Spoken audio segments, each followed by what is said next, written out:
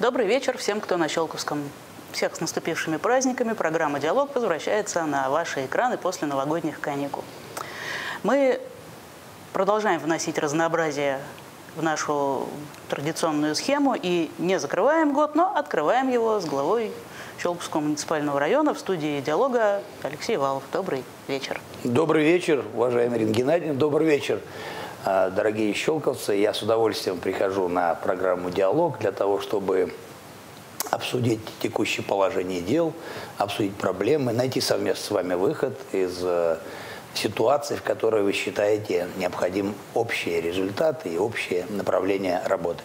И после этой программы «Диалог», как правило, долго анализирую, какие вопросы задавали, что говорили жители, к чему надо более э, тщательно подойти к решению вопроса, каких надо более тщательно подойти. Ну и как бы это дает мне дополнительный импульс положительный, чтобы свершения, которые в Щелковском районе происходят, были более эффективные, были более полезны для жителей. Спасибо. О свершениях сегодня поговорим, о городском округе поговорим, о вывозе мусора поговорим, о развитии соцсферы поговорим. Но для начала напомню нашим телезрителям, что мы в прямом эфире, и телефоны 56 7 14 40 7 14 50. Можно звонить, задавать вопросы. В любом случае, если вы в эфир не, не пробьетесь, то ваш вопрос будет обязательно записан. Только контакты оставляйте. Вот. А первый вопрос я вам все-таки задам все-таки по итогам года прошедшего, 2018 Щелковский район по итогам развития муниципалитетов занял, э, вошел, вошел в десятку лидеров, а точнее занял седьмое место. Как вы оцените этот результат? Ой, Ирина Геннадьевна, непростой был год. Я считаю, что 2018 год, год был такой административных перемен, когда мы два раза э, провели административную реформу на территории района. Соответственно, два поселения передали в городской округ Петровский – а потом сформировали уже новую административную единицу, городской округ Щелково. Я думаю, что все жители вместе переживали и по первой реформе, и по второй реформе административной. Ну, теперь как бы мы видим, что она уже состоялась, и Щелковский район стал городским округом. Сейчас пройдет определенный период, называется переходный период. Мы сформируем э, органы администрации на местах э, бывших эм, как бы отдельных поселений и перейдем к одноуровневому муниципальному управлению. То есть будет городской округ, глава, совет депутатов, администрация. Э, мы предполагаем, что это даст дополнительный импульс развития всех территорий без исключения, потому что на каждой территории будут те люди работать, которые работали на них раньше. Единственное управление всеми процессами будет осуществляться с центра. Это, в принципе, нормально. Если взять рейтинг 50, где мы седьмое место заняли, то мне бы хотелось сказать, что в 2015 году мы занимали 52 место, потом два года подряд занимали пятое место, сейчас седьмое. Но почему седьмое? Все-таки бюджет у нас достаточно скромный, и возможности у нас скромные. А, но мы старались. Мы все свои чаяния, все мысли направили на то, чтобы э, в первую очередь создать, конечно, как можно больше и объектов, и условий для комфортного проживания, создать ту среду, которая называется для жителей наиболее благоприятной. Я не говорю о э, тех объектах, которые мы создали, рекреационных, зон общественного А давайте все-таки поговорим о, все-таки о тех объектах, которые мы создали. Но я хотел бы добавить, что все-таки рейтинг 50 а, показатели устроятся на основе а, рейтинговых показателей, указанных президент, президентом Российской Федерации майского указа.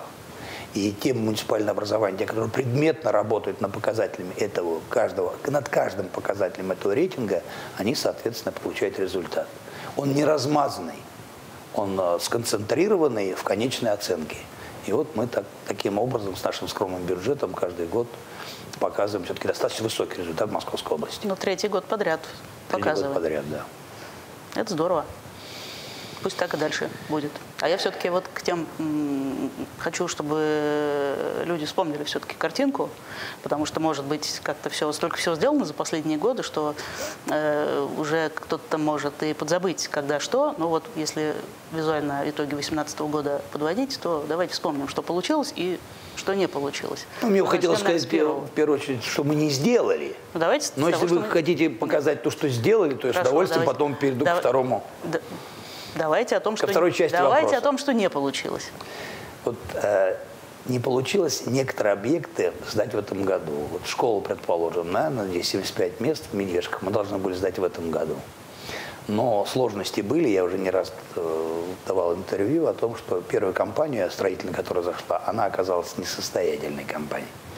И мы провели непростую процедуру для того, чтобы завести на субгенподряд другую компанию. И на данный момент школа уже готова на 75%. Мы уверены, что к маю месяцу эта школа будет сдана. Ну, крайне, я считаю, вот месяц будет апрель, такой напряженной пусконаладки. И плюс еще в мае а, земля освободится от снега, и мы будем делать там благоустройство. Я думаю, что все-таки вот именно в этот период, когда земля освободится, мы закончим благоустройство, эта школа будет сдана полностью она даже не пристройка, она все-таки школа, потому что по количеству классов, по количеству а, вспомогательных объектов, это актовый зал, там, э, соответственно, спортзал, там на 400 добрых мест. И нам, конечно же, было очень непросто смотреть жителям в глаза, когда мы увидели, что в этом году мы не сможем отчитаться перед ними о том, что ввели эксплуатацию. Тем не менее, мы уже как бы ну, понимаем... Может, посреди года-то и не надо, а 1 сентября пойдут уже в Я готовую полностью. Думаю, что школу можно вводить в любое время. И есть все-таки определенная обеспокоенность, когда мы видим, какое количество детей в медвежках идет в школу и понимаем, как им там нелегко, потому что скучность большая, две смены, да, там и в две-то, наверное, уже не укладываются. Поэтому вы знаете, что мы спланировали строительство еще одной школы в новом городке для того, чтобы полностью а, закрыть проблему со второй сменой и с такой скученностью детей. Эта работа будет выполнена в течение трех лет. Сейчас мы сдаем школу на 1075, и в течение двух лет построим следующую школу в новом городке проектирование, к которому приступаем. Мы с вами говорили о том, что не получилось. Это вот не получилось. И только это? Нет. Мы еще планировали Нас... в этом году сделать кусочек улицы Пушкина от э, новой пешеходной зоны и, соответственно, да? до э, Вроде в следующем году Пушкина. Вот планировали да? в этом году. Но, опять же, не получилось, потому что по средствам на проектирование мы не смогли найти их в бюджете. А сейчас нашли, отпроектируем и, соответственно, вот в следующем году от, э, пройдем работу для того, чтобы придать единый облик замкнутому э, пространству, вот этому общественному, замкнуть пешеходной логистики, который, замкнем пешеходную логистику на этом э, куске. Это тоже очень важно, потому что мы понимаем, что вот идут сейчас теперь по набережной, а потом переходят сюда, и тут идут такие плитки, которые... Я вам тогда напомню, что еще не доделали на Чкаловской на улице Гагарина благоустройство. Это тоже один из моментов, который мы не успели. Достаточно сложно там было с формированием общественного мнения. Были ряд депутатов, которые, я так понимаю, работали с населением в плане отторжения этой зоны общественного притяжения, рассказывали ее все неудобства, которые строительство вызовет. И мы достаточно долго беседовали с жителями, в том числе и потом с помощью этих депутатов, которые увидели, когда окончательный концептуальный вариант, а, признали и, соответственно, помогли в том, чтобы жителей убедить. Ну, время было потеряно, и, соответственно, мы не смогли в этом году сделать. Ну, мы перенесли средства на следующий год, и также уверен, что к концу мая не в концу мая. Нам надо все-таки успеть э, до Дня Победы э, сделать максимум работы, хотя бы вот приблизительно к э, Вечному огню и э, скверу героев работу закончить. Нет, сквер героев-то там, по-моему, как раз все там хорошо. Тоже очень много все работы. хорошо и развивается, и ну, будет ну, пока всего лишь 10 бюстов, мы понимаем, что нам дальше надо продолжать. У нас очень много героев. Мы планируем еще в этом году, уже в 2019 году, естественно, поставить как бы еще там, два бюста. Мы эту работу тоже сделаем. Спасибо. Э, как уже я говорила, мы работаем в прямом эфире. Давайте послушаем первого дозвонившегося в студию. Здравствуйте. Добрый вечер. Добрый вечер. Уважаемый Алексей Васильевич, хочу сказать вам большое спасибо за всех жителей нашего района, города, за вашу работу в городе. Алло? Да, мы Я слышим. Мы, мы вас слышим. слышим. Спасибо, слышим. спасибо. Добрый вечер. Уважаемый Алексей Васильевич, повторяюсь, наверное. Хочу сказать большую благодарность выразить вам за вашу работу в нашем городе. Я коренной житель, родилась здесь. Я вас хочу поблагодарить по вопросу, который стоял у нас очень долго. Наверное, вы помните вопрос по дорожке на Гребенской горе. Это вопрос актуален для всего района, для всего города. Надеюсь, что продолжение нашего вопроса будет осуществлено по поводу насыпной, ну, грунтовой дороги для автомобилей. Ну, слева, который идет, да? Да, да. Мы с вами вместе были там. Спасибо вам огромное. Здоровья вам, удачи, всего-всего. Я очень вам благодарна. Хочу сказать, что, ну, наверное, не очень долго мы ждали этого от вас, но вы выполнили свое слово, вы настоящий офицер. И еще второй вопрос. Значит, смотрите, очень вот сейчас я наблюдаю такой вопрос. У поликлиники номер один подъезжает много машин. Стоянка не чищена перед поликлиникой. Очень сложно. Будьте добры, пусть хотя бы раз грейдер пройдет вокруг поликлиники и на стоянке. Потому что мамочки с колясками не могут пройти. Благодарю вас. Большое вам спасибо. Удачи, здоровья. Спасибо, спасибо большое. Спасибо, спасибо большое. Хочу извиниться спасибо за то, что не чистят стоянку. Потому что все-таки вот у нас даже на праздники из 12 дней, вот э, будем говорить, практически 8 дней шел непрерывный снег. Стараются службы, стараются, но я обязательно обращу внимание, чтобы завтра там было почищено. А, мы почистили еще и стоянку возле перинатального центра, построили новый. Поверьте, есть же у нас категории, категорирование уборки. И, соответственно, есть, э, которую надо делать в первую очередь, это центральные магистрали, там, э, автобусные остановки, парковочные карманы, вот к автобусным остановкам. Э, также те дороги, которые идут в микрорайоны потом внутридворовые территории. Все это достаточно сложно ну, как бы сейчас рассказать, но мне бы хотелось сказать, что в этом году мы, даже не в этом году, из года в год мы и объем, и качество уборки повышаем. Знаю, что критикуете, знаю, все вижу в соцсетях, знаю ваше обращение на горячую линию, но поймите, есть вещи, когда э, вот эта стихия нуждается в определенном регулировании по времени. Я поэтому прошу меня извинить и подождать. А завтра возле первой поликлиники работа будет произведена. Спасибо. Я вот тоже коренной житель, и, ну уж извините, буду настаивать. Ну вы же не могу лопату я... берете сами, как бы чистить? даже иногда. Я не про это. Лопату да. чистить, это Я же видел, это как бы брали лопату и вещи. убирали Вы мне сказали взять лестницу, и, и да. убирать. Я сказал, я... если тебе не нравится ходить по этой лестнице, возьми лопату и убери Ризгидайдина. Что и было сделано. Да, да. Молодец. Угу. Спасибо. Но если мы вспомним, было время, когда мы администрации выезжали на многоквартирные дома и убирали площадки, убирали дорожки. Было такое. То в этом году этого нет. Но все-таки хотелось бы, чтобы... Несмотря на то, что есть недостатки, в этом году этого нет. Получается, наша компания управляющая справляется уже с этой работой. У нас было 53 компании, сейчас осталось 34, останется до конца февраля 26. Из этих 26 компаний нет ни одной, одной и двумя звездами. Есть только 3-4 звезды. И мы будем дальше работать с теми управляющими компаниями, которые относятся к своей работе, э, ну, говорить по-русски, спустя рукава. А по такой оценке более э, категорично неудовлетворительно. Лесенку чистят. Спасибо. Констатирую. Ну, не мне спасибо. Я тем, кто обязан ее чистить. Так вот, к чему во мне заговорил коренной житель? К тому, что не могу я в очередной раз не порадоваться тем переменам визуальным, которые происходят в Щелкове. Давайте вот кратенько хотя бы вспомним, напомним жителям, как мы строили сквер Пушкина с фонтаном, как мы набережные благоустраивали. Я очень люблю жителей вот, Щелковского вот, чем, района. Вот чем запомнят вот главу Валова? Вот этим вот, вот и запомнят. Вот, послушайте, я вот очень люблю жителей Щелковского района, всех без исключения. И так хочу, чтобы Городского они... округа. Вот, да, ну, перегородского округа, да. Но так хочу, чтобы они все, без исключения, просто все, полюбили свой родной Щелковский район, городской округ, свою Щелково. И делали все возможное, чтобы в этой, вот, будем говорить, очень сложной работе оказывать помощь. В чем? В поддержке в социальных сетях, когда они указывают недостатки. И второе, показывать пример во всем. Вот сейчас необходимо всем мобилизоваться и показать пример при э, работе по раздельному сбору мусора. Ну, надо это сделать.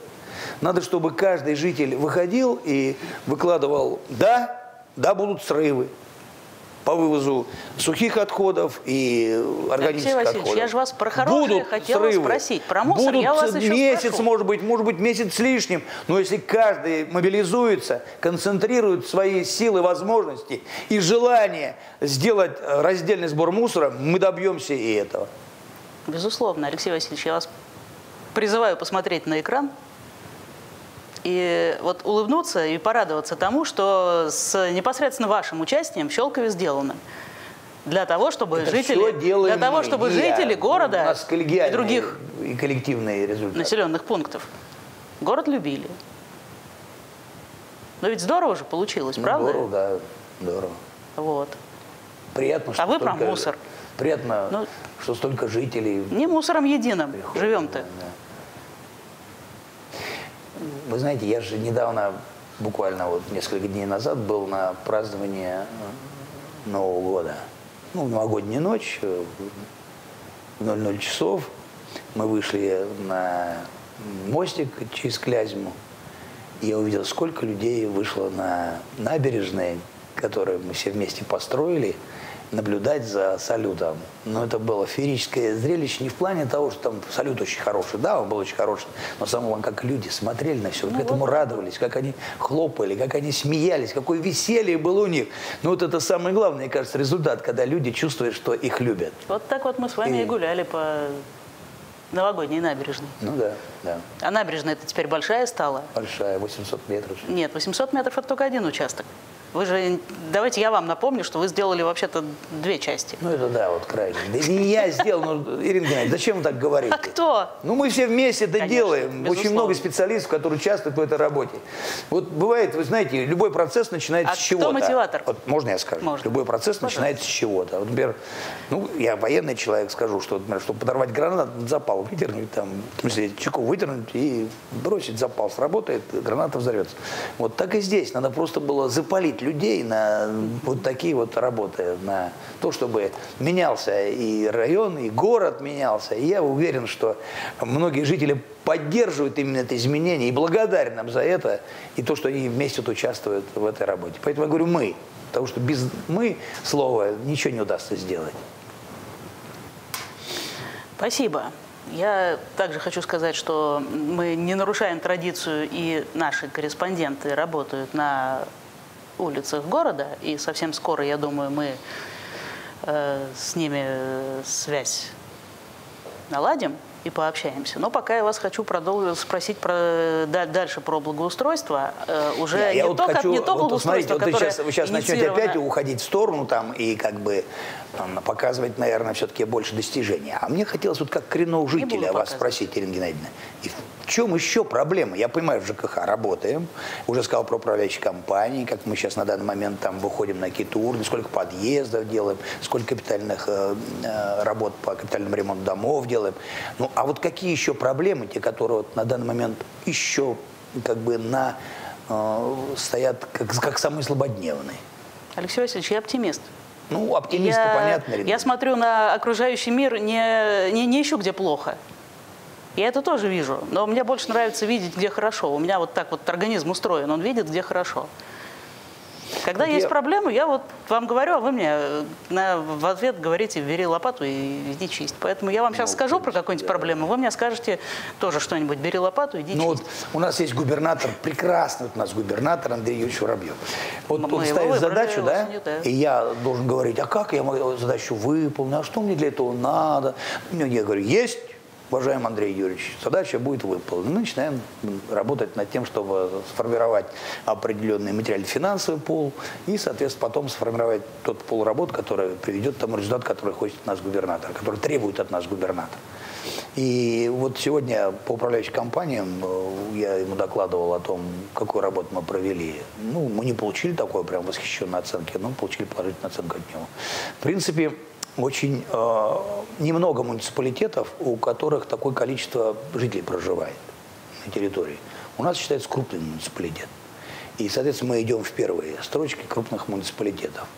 Я посмотрел по доброделу, да, я опять же не, не говорю, что мы там перерабатываем, что у нас все тут блестяще, но мы всегда идем вот, ну, где-то в конце, там, э, третьими, вторыми снизу. То есть э, достаточно много работы делается для того, чтобы жители были удовлет- удовлетворены. И я думаю, что вот в этом самое главное, когда жители выходят из дома и первым делом нажимают звонок, звонит на добродел, если плохо. И, соответственно, мы тут же начинаем работать, чтобы стало хорошо. А Вот давайте послушаем, люди тоже позвонили, но не, добро- не на Добродел, а в студию программы «Диалог», и к вам есть вопрос. Ну, сейчас, Здравствуйте, наверное. мы слушаем. Добрый вечер. Здравствуйте. Добрый вечер. Да, мы слушаем Это- вас. Добрый вечер, слушаем. добрый Да, вечер. Это Борисский Геннадий, житель города Щелково. Ну, во-первых, э, поздравляю с, на- с наступившим э, Новым годом. Э, Хочу пожелать э, в этом 2019 году работы администрации таких же напором, таких же свершений, которые мне лично нравятся. Теперь по поводу вопросов. Мы знаем, что в городе Щелково, там, в Дворце культуры или где-то еще проходят какие-то встречи с депутатами, с администрацией, а, какие-то творческие вечера. Информации в городе Щелково, наружной информации, я что-то нигде не видел. Даже на э, здания администрации города Щелково нет таких объявлений. Это первый вопрос. Второе. Э, Скорая летняя оздоровительная кампания. В прошлом году вы, когда занимали юноармеец, ездили, смотрели, вы заезжали э, в пионерский лагерь «Старт», который принадлежит Фрязинскому институту электроники. Сейчас он не работает и заброшен. И вы сказали, что мы постараемся перевести этот лагерь в Щелковский город, Щелковский район. Какие движения в этом э, направлении есть или что? Ну, вроде бы все, спасибо. Спасибо большое. работы в этом году. Спасибо за звонок. Спасибо большое. Вот информация по встречам. Ну, это, если вы не видите этой информации, это безобразие. Я считаю, что коллеги не дорабатывают. Но мы обязательно будем пускать тогда бегущую строку по телевидению. Я смотрю, вы как бы телезритель и видите нашу как бы программу «Щелковское телевидение». Поэтому обязательно будем пускать бегущую строку перед всеми встречами, чтобы все жители видели. Плюс, конечно, в социальных сетях, плюс, конечно, в средствах массовой информации. Но обязательно вот это сделать я поставлю задачу. По старту. Вот честно, год практически была абсолютно оптимистичная ситуация. Мы получали подтверждение, то, что нам его передадут. Потом раз все это прекратилось. В связи с чем это связано, я думаю, что, наверное, тот руководитель, который поменялся, мы увидели другую фамилию в ответах, а, решил, что он имеет какое-то свое особое мнение по этому детскому оздоровительному лагерю. Мы эту работу ведем, мы доведем ее до конца. Мы большую работу вели по детскому оздоровительному лагерю «Космонавт». Вот сейчас я э, уже обратился к нашему Общероссийскому народному фронту, к э, работающим на территории Подмосковья, и я думаю, что они нам помогут для того, чтобы принять правильное решение. Мы готовы взять еще пару лагерей для того, чтобы в летний оздоровительный сезон увеличить количество детей, отдыхающих там на постоянной основе. Мы это обязательно сделаем. Обязательно сделаем. Поэтому просто надо немножко потерпеть. Спасибо. Хорошая практика принимать брошенные ведомственные лагеря и Да, принимать восстанавливать. У нас, у нас пример есть. И восстанавливать их, и сделать из них образцов. У нас э, детский оздоровительный лагерь занял первое место, инармеец. Я не по месту говорю, я просто приезжаю и вижу, как там детям комфортно. Вот это самое главное. Спасибо. А у нас еще есть звонок зрителей. Здравствуйте, мы слушаем. Кто нам дозвонился? Добрый вечер. Алло. Здравствуйте. Слушаем Алло. вас. Слушаем вас. Да, вы в эфире. Я, вот меня зовут Алексей. Я живу на Дальнем Воронке. У нас Согласен. почту, второе отделение, здесь закрыли. Теперь мы и вынуждены все ездить в целый район в центральную почту. Сам я инвалид. Передвигаюсь вот на машине, и там припарковать ее негде просто возле почты. И мест для инвалидов стоянки нет. Хотя бы 2-3-4 места можно сделать для инвалидов. Для парковки. Скажите, пожалуйста, вот почту на Дальнем Воронке закрыли, да? Да. Вы ездите на какую почту? На главпочтам на Толсинском. На На главпочтам, понял вас. Завтра займусь и решу вопрос. Вот. Спасибо. Спасибо. Спасибо. Ждем еще. Будут, будут поставлены указатели, где места парковочные для инвалидов. Не только на асфальте, что сейчас не видно на асфальте, что не нанесены, но будут поставлены еще и указатели, что это для э, категории людей с ограниченными возможностями. Извините, пожалуйста. Спасибо за ответ, Алексей Васильевич. Мы готовы послушать, э, послушать улицы Щелкова, если у нас есть такая возможность. Пока такой возможности у нас нет, тогда, значит, следующий вопрос я вам задам. Вы уже вкратце сказали о том, как мы будем развивать э, губернаторские программы э, в сфере ЖКХ. Это, напомню, ремонт подъездов, это капитальный ремонт многоквартирных домов и э, комплексное благоустройство дворовых территорий. Вот если можно, давайте и э, об этой работе тоже жителям нашим напомним. И если есть уже цифры на наступивший год. То... Ну, все в штатном режиме. По подъездам сейчас определяемся, но не меньше 700 будет. По дворовым территориям не меньше 40. По дорогам не меньше объем будет, а будет, ну, опять как обычно, там 600 тысяч квадратных метров минимум. А, ситуация такая, что еще пока раздельные бюджеты по поселениям.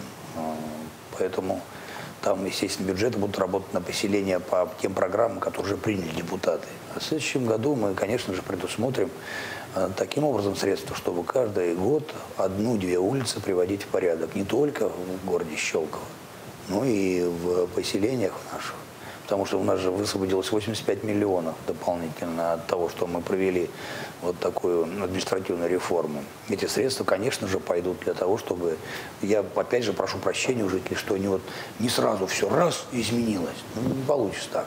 А вот каждый год в Щелково одну-две улицы будем приводить в порядок. Вот в 2018 году привели Комсомольскую улицу в порядок, там э, более-менее ее как бы сделали. Вот, э, до этого привели до конца Парковую улицу, сейчас набережную, улицу Шмидта. И вот так вот, если кто-то вот, как бы по улицам живет, видит изменения. На Хотовскую вышли-то, наконец, начали асфальтировать, там, там грунт был сплошной и болото. То есть э, вот эту программу мы снижать не будем. Тротуары, улицы, уборка летняя, зимняя, соответственно, газонировать будем красиво все это. Набережную, которую в этом году построили, в прошлом году построили, а, весной, как только сойдет снег, а, начинаем ее рулонным газоном делать красиво, опять же.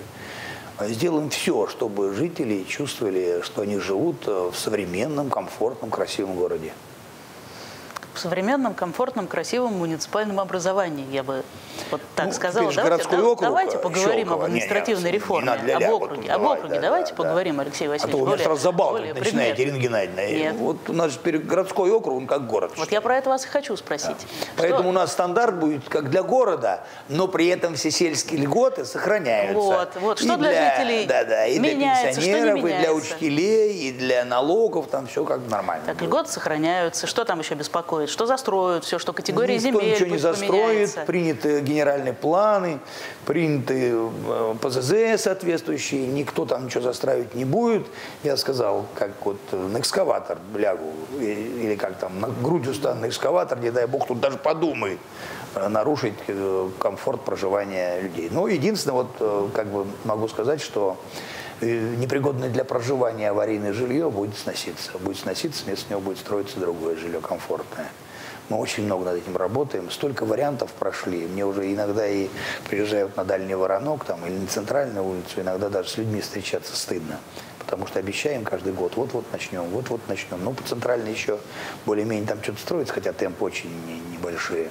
А вот по дальнему воронку там наконец-то вот-вот-вот-вот должно прорвать. Я уже сам, честно говорю, э, жду этого начала строительства как манну небесную чтобы все старье снести, построить нормальные дома и выделить нормальные квартиры для достойного проживания наших жителей. Потому что когда я приезжаю в эти бараки, смотрю, что там творится, конечно, сердце кровью обливается. У городского округа больше возможностей для этого, чтобы решить эти вопросы? Вообще у всех людей, у нормальных людей, возможностей гораздо больше, чем у плохих, которые не хотят позитивных изменений. Поэтому будем делать все возможное, чтобы эти изменения продолжались в том числе и при, при сносе непригодных для проживания и аварийных домов. Так вот, про округ. Э, вы сказали, что, что не меняется, а что меняется для жителей. Ну вот, в частности, не секрет, что поселения были с разным уровнем развития, с разным уровнем бюджета, с разным уровнем, соответственно, возможностей. Сейчас поселений больше нет, есть один городской округ и в нем населенные пункты. Э, что теперь, в какие новые возможности появятся, например, э, у Загорянки? Ну, Загорянка такая у нас э, зона достаточно сложная, потому что там очень высокого интеллекта люди живут, с заслугами. И очень низкий уровень и экономический. Очень низкий, да, экономический и уровень благоустройства никакой, там, будем говорить, по большому счету, потому что нет даже денег на сфинансирование. А теперь необходимо все это, конечно, изменить. И как бы там жители не боролись за статус, э, будем говорить, тех территорий, которые они называют для себя своей малой родиной, там нет, там у нас еще достаточно много детей, там надо строить детские сады, там надо строить школы, там надо строить тротуары, там надо делать логистику и пешеходную, и социальную. Но стройки как таковой, чтобы обезобразить э, облик э, Загорянки, не будет. Мы просто предметно займемся формированием программ по развитию Загорянки по тем вопросам социальным и благоустройств, которые я сказал, и предварять их в жизнь. Вы сказали, что не было возможности софинансирования, чтобы наши зрители понимали, чтобы войти в программу, на которую дают деньги чтобы из федерального областного бюджета, ну, да, нужна еще часть местного. Да. А у Загорянки таких а возможностей... очень были ограничены. Даже не 5%, ни каких, ни 7, ни 10, они не могли.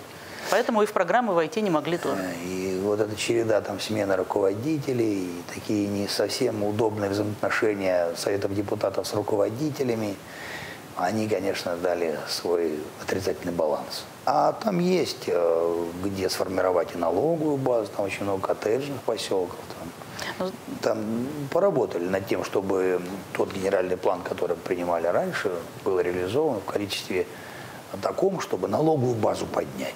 И мы это обязательно сделаем. Не за счет, а, будем говорить, э, как мы называем Загорянку-то, Дачный Дач, поселок. Дачный поселок, Дачный да. Поселок. Не за счет дачного поселка, а за счет тех э, новых э, участков земельных, где живут достаточно состоятельные люди.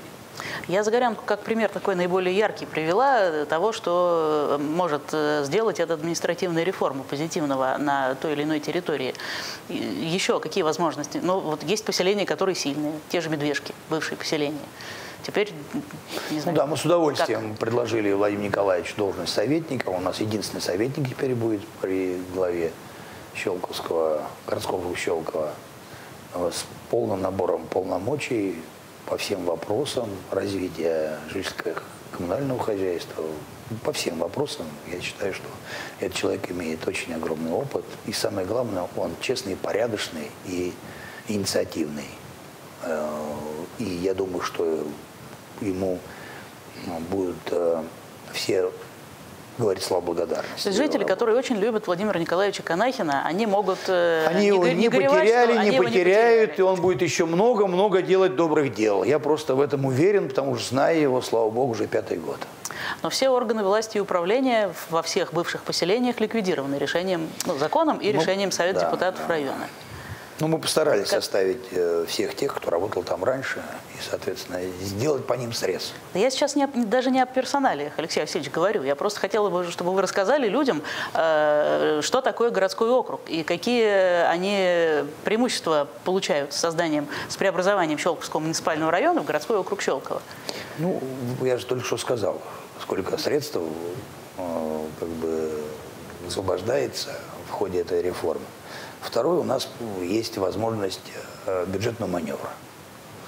То есть, если раньше муниципальное образование маленькое только на себя рассчитывало, на свою доходную базу, сейчас мы можем сманеврировать и более эффективные муниципальные государственные программы софинансировать. Ну, муниципальная программа, понятно, свой собственный бюджет, а вот региональные государственные федеральные программы можем уже софинансировать более уверенно для того, чтобы менять там жизнь к лучшему. Соответственно, мы понимаем, что многие вопросы, э, вот, э, которые мы решали даже в рамках муниципального района, они практически подходят к завершению. Это чистая вода, например.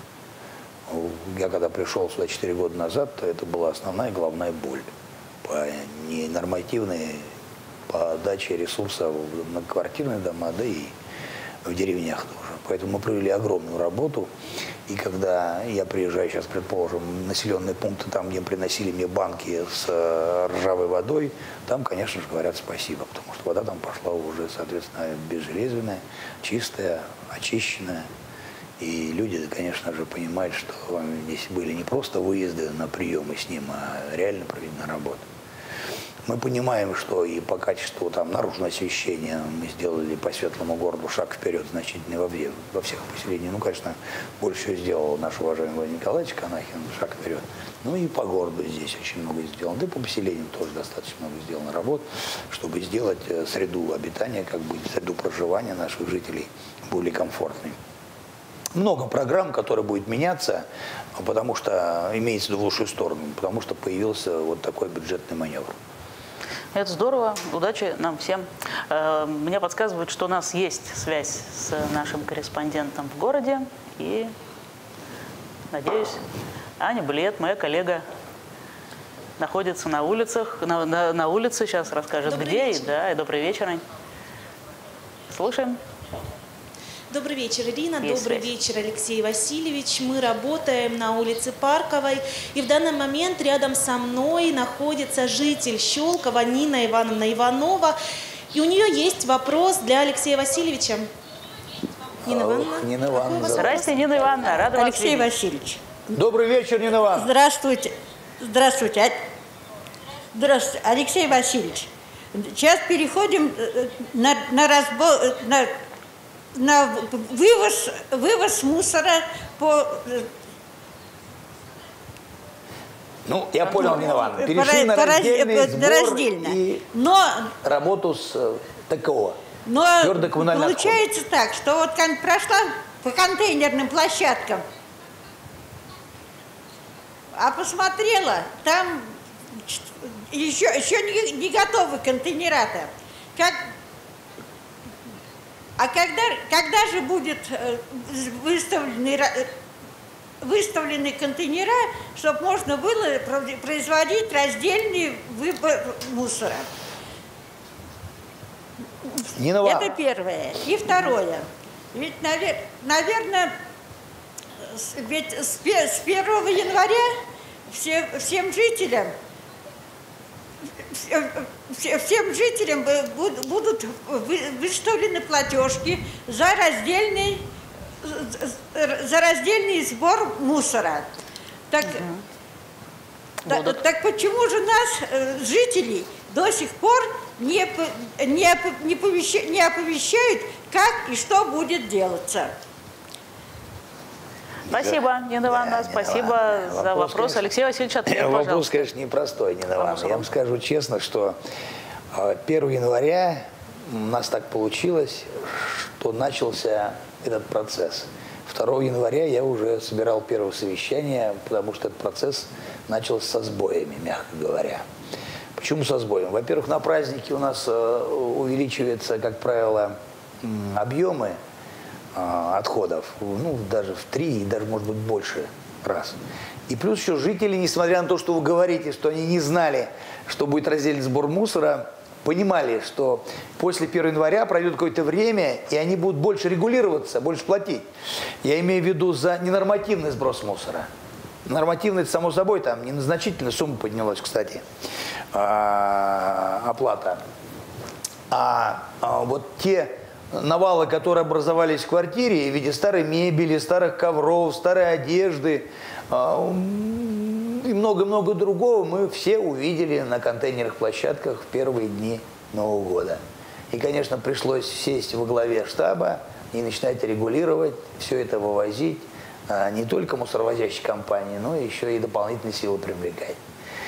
Я уверен, Нина Ивановна, пройдет какой-то период, какой-то вот э, небольшой совсем, мне сегодня на совещании с Хартией пообещали, что до пятницы в городе везде будет стоять не бачки, а сетки специальные для сбора э, непищевых отходов.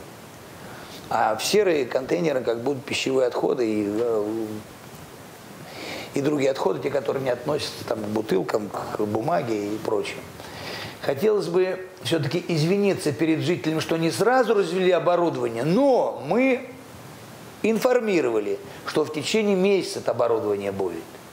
И пока у нас еще нет такой как бы а, окончательной а, задачи буквально завтра перейти на этот раздельный сбор. У нас есть задача путем информационным, путем внедрения этого оборудования приучить жителей к этому раздельному сбору мусора. Пройдет время, Нина Ивановна, пройдет обязательно, и люди вот после Нового года, выбросив все лишние вещи, начнут просто раскладывать мусор в разные контейнера. Это, вот как бы правильно сказать, Европа проходила до десятилетия, а мы же Россия, мы же умные. Поэтому мы сделаем это в более короткие сроки, Нина Ивановна. Я уверен, что все жители Щелковского района, а я их в самом начале попросил, чтобы они поддержали нас – и начали, э, приступили к тому, чтобы в раздельные контейнера мусор а, транспортировать, сделают. Ну, сделают. И мы сделаем, и вы сделаете, Нина Ивановна. Спасибо, Алексей Васильевич. Спасибо, Нина Ивановна. Нина Ивановна, услышали вы ответ? Да, да. Спасибо, спасибо большое за ответ. И Алексей Васильевич, от нашей ветеранской организации, от наших старушек мы передаем вам большую благодарность за то, что вы привели наш город в такое состояние, которое есть до сих пор. Доброго здоровья вам и больших успехов. Спасибо вам за Нина все. Ивановна, вам доброго здоровья, добра, тепла и всех жизненных благ. Спасибо, спасибо большое. Спасибо, Нина Ивановна. Спасибо, Аня. По мусору, конечно, вот э, мы-то планировали да, немножко по укороченному варианту расставить оборудование, и, соответственно, никто же не ожидал, что появятся какие-то рейдеры, будут это оборудование воровать, увозить. Алексей Васильевич, если вы сейчас на экран посмотрите, мы специально подобрали видео, которое сняли вот, ну, буквально в эти дни э, в Щелкове на, не, на некоторых площадках, и э, уже ставят сетки. Мне кажется, что значительная часть проблемы раздельного сбора с установкой этих сеток э, будет снята. Мне так показалось, но это вот мое субъективное ну, мнение, ну, потому что люди пользуются у нас ими. говорят, время лечит, а Лю... здесь как бы время должно поработать на то, чтобы было установлено оборудование, и, соответственно, люди привыкли к тому, чтобы вот оборудование именно по тем... А никто не учил людей в эти сет... э, в сетки бросать именно то, что нужно. Но вот мы видим, визуально видим, что именно так э, жители Щелкова и делают, хотя им никто не рассказывал, для чего эти сетки. А сетки для... Я же говорю, что я очень люблю жителей. Так что да, вот э, э, что еще? Вот мы видим э, видеонаблюдение на площадках проблемных. Это тоже, э, это ведь решило проблему. Вот площадка на улице, где она, на Чкаловской. Во всяком там, случае, да, на у нас есть аргумент для регионального оператора. Вот видите, подъехал, бросил. Подъехал, бросил, но камера зафиксировала. Камера зафиксировала, да. она зафиксировала и номер машины, и, в принципе, лицо того, кто бросил.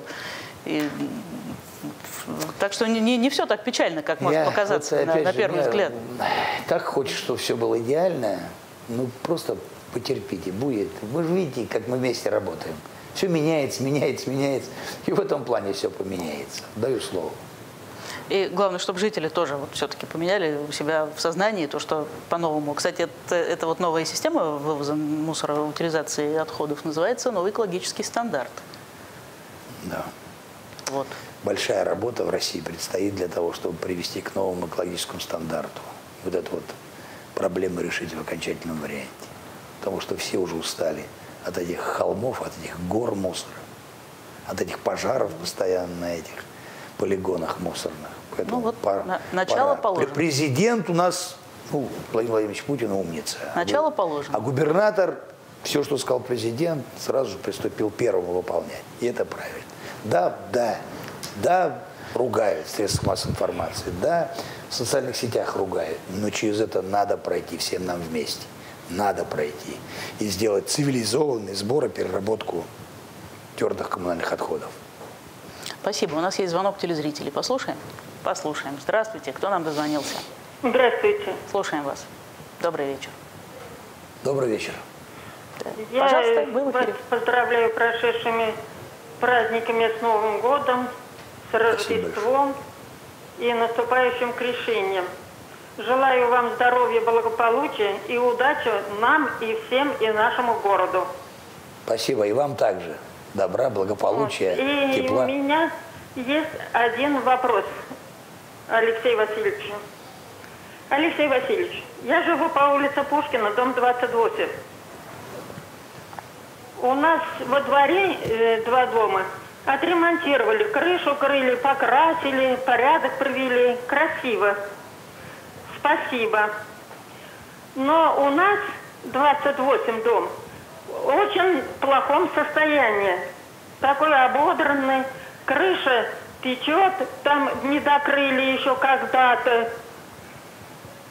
А потом у нас вокруг дома, ну сейчас зима под снегом не видно, вокруг дома у нас проваливается, э, э ну как называется это, опаловка. От моста, Вот.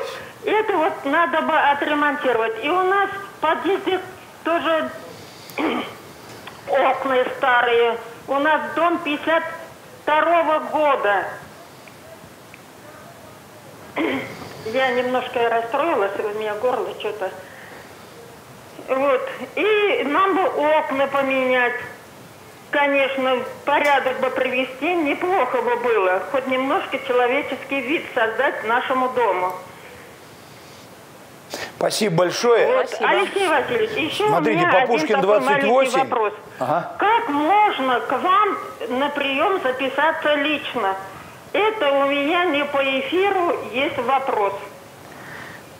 Вы сейчас трубку не кладите, вам объяснят, наверное, Андрей, ответ на второй вопрос, а на первый слушаем. Если у вас э, безотлагательный вопрос, я каждое утро, ну теперь вот попозже начал приезжать, раньше 7.30 приезжал, сейчас дорога такая не очень хорошая, приезжаю где-то я 7.45, 7.50. Ну летом опять вернусь к этому варианту, это дороги получше будут.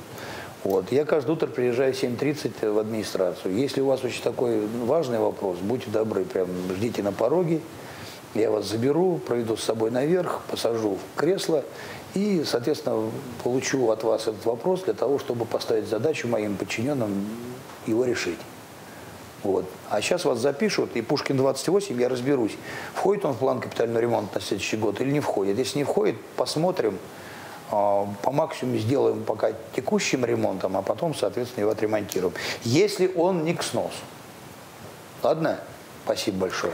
Спасибо. Алексей Васильевич, давайте поговорим о планах на наступивший год поподробнее, чтобы у нас вот хватило на это времени сегодня в программе поговорить по благоустройству, по строительству, по развитию дорожной сети, по, э, по губернаторским программам по ЖКХ, если вот опять-таки можно об этом говорить, по строительству социальных объектов. Мы еще с вами совсем сегодня не упомянули ни о школах, ни о детских садах.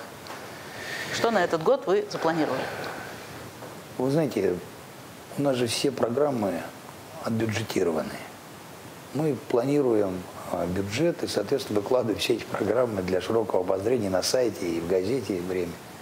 Я думаю, что жители внимательно прочитали, но хотелось бы напомнить, что мы закладываем за эти непростые пять лет строительство семи детских садов и девяти школ. сейчас две начали, сейчас к третьей приступаем через, может быть, дней через 20 уже в Жигалово начинаем строить школу. Сегодня состоялось, как бы сказать, заявок, к сожалению, почему-то только один заявился, хотя опубликовали за 21 день. Э, но стандарт э, вот, вхождения строительной организации в эту работу очень сейчас строгий.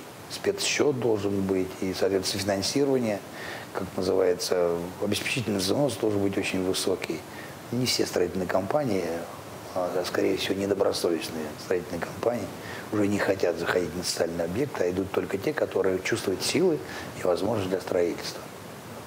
Поэтому в следующем году обязательно, в этом году начинаем строительство еще двух школ, ну и так далее. Там будем сейчас проектировать э, детские сады, и в этом году, к концу года, зайдем на строительство еще двух детских садов.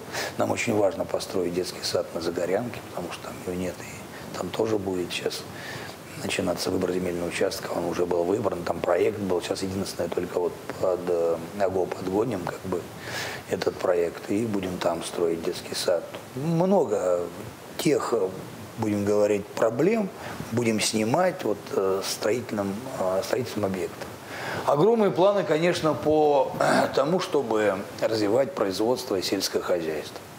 Э, дело в том, что, как бы мы ни говорили про СМП, там, субъекты малого и среднего предпринимательства, нам необходимо развивать и крупное производство. Мы уже работаем над тем, чтобы в этом году сформировалась окончательная концепция индустриального парка «Синергии» в Угоднево. Соответственно, в технопарке на нашей промзоне будут построены еще два корпуса, 100-300 рабочих мест. Это очень важно. Создавая социальный объект и строя социальный объект, мы понимаем, что идут дополнительные средства из бюджета содержания социальных объектов, а для того, чтобы э, сделать э, э, такой баланс всех средств, которые находятся в бюджете и расходов на социалку, необходимо строить дополнительные производственные мощности и создавать дополнительные рабочие места, которые позволят потом эти социальные объекты обеспечить поступление в бюджет. А мост мы на Соболевке сдадим? Чтобы он тоже обеспечил ну, мост транспортную это, логистику? Мост это другое, это называется уже дорожная инфраструктура. Я дальше остановлюсь. Мне все-таки хотелось закончить здесь. Если взять вот 2014 э, год, да, минус 48 тысяч рабочих мест у нас было, то есть 48 тысяч человек ездило у нас в разные муниципалитеты в Москву, то теперь мы создали 22 рабочих мест, 22 тысячи рабочих мест, и осталось в дефиците 26 тысяч рабочих. Это, конечно же, не дает нам как бы но шанс успокаиваться, поэтому будем дальше строить э, производственные объекты, дальше создавать э, сельскохозяйственные объекты, чтобы создавать по максимуму рабочие места. Они позволят потом закрыть все социальные расходы. Это очень необходимо. Мост, э, долгожданный мост, наконец, мы все его ждем. Я на прошлом диалоге говорил – сейчас строительство идет полным ходом. С правой стороны уже заканчивается заливка опоры. Хотели до Нового года залить две опоры, но собственник на левом берегу помешал нам этой работе. До сих пор в судах не отдает этот земельный участок под муниципальные нужды для строительства левой опоры. Но все, найдем выход, зальем и левую опору. Уже стоит, э, привезли уже ферму. Начинаем ее собирать для того, чтобы потом эту ферму установить на опоры. Это произойдет вот э, до конца февраля месяца. Уже мост будет иметь свои очертания, как инженерный объект. А дальше уже мы понимаем трехвариантная э, развязка с моста на Заречную частично, потом на вторую улицу пойдет и в третью на РТП. Э, средства уже, в смысле проект уже этой дороги делается, не, про не дороги, а, будем говорить, съезда на Фряновское шоссе трехмоментного на РТП, а второй и на Заречной улице делается. Это развяжет центр города, развяжет. Но эти съезды, они будут не Но в далекой перспективе? У нас еще как бы есть, э, я уже тоже говорил, и сейчас повторю, это наземный пешеходный переход э, на этом перекрестке Талсинская, Пролетарка, Талсинская, Заречная и Фряновское шоссе. Мы сейчас начинаем его проектировать, и к сентябрю месяца, к выбору Совета депутата городского округа, э, делаем два варианта проекта э, и, соответственно, организуем э, голосование жителей за тот или иной вариант этого надземного пешеходного Это перехода. как мы набережную, да, Как выбирали? набережную, да. Вы знаете, что за набережную проголосовало да. 60 тысяч человек, чтобы ее построить в таком именно варианте, чтобы тоже не быть э, откритикованными нашими уважаемыми жителями. Поэтому то же самое проведем голосование. И после этого голосования спроектируем по тому варианту, который э, выберут жители. И в 2020 году будет построен надземный пешеходный переход, который еще даст э, дополнительный стимул для того, не стимул, вернее, а дополнительные возможности для движения транспорта. Для разгрузки. Для разгрузки Центра. этого пешеходного, для разгрузки этого перекрестка. Потому что транспорт грузовой весь уведем на мост, в конце 2019 года будет, а здесь э, разгрузим от э, фазы работы, от пешеходной фазы работы светофора и Пролетарский проспект пойдет. Мне очень стыдно, что у нас вот в центре город стоит. Но для того, чтобы центр города пошел, необходимо провести вот эту работу. Мы ее обязательно проведем, сделаем и разгрузим центр города от такой вот э, непростой ситуации дорожной. Ну, про то, что мы будем благоустраивать улицу Пушкина, это вы сказали. Да, просто, я уже сказал. Да, да. Нам просто нужно уже, как мне подсказывают, подводить итоги и э, завершать, собственно говоря, наш выпуск. Поэтому встретимся еще в эфире, я надеюсь. Да, мы очень стараемся делать так, чтобы жители нашего Щелковского района, теперь городского округа Щелку, конечно, жили в комфортной среде, чтобы они чувствовали удовольствие от жизни в районе и в городском округе в будущем. Я благодарен им за помощь, поддержку и в социальных сетях. И вот сейчас э, спасибо, что позвонили, сказали добрые слова. Они, может быть, наверное, самые важные, когда вы говорите за наш маленький такой труд, слова благодарности – это дает дополнительные силы, дополнительный стимул для того, чтобы мы работали еще лучше. А так хочется, чтобы вы все понимали, что вместе мы сила, и вместе мы непобедимы. У нас хорошая страна, хорошие люди. Лучше наших людей нигде нет, ни в какой другой стране. По одной простой причине у нас духовность очень высокая. будем поддерживать дальше этой высокой духовность. Спасибо вам, дорогие жители, дорогие друзья, за хороший прямой эфир, за ваши вопросы и за то, что поддержали нашей непростой работе. Я думаю, что еще и поддержат. Спасибо, Алексей Васильевич. Алексей Валов, глава пока еще по документам Щелковского муниципального района, по нормативным документам. Э, хорошего вам года. Всем хорошего года, уважаемые телезрители. Всего доброго и обязательно оставайтесь на Щелковском. Спасибо. До свидания. Добра вам, здоровья и всех жизненных благ.